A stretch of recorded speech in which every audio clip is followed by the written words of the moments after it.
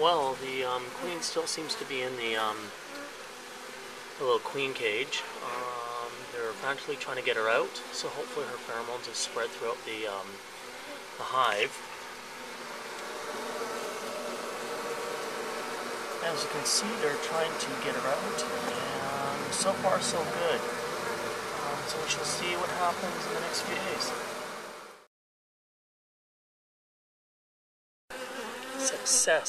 There is my queen.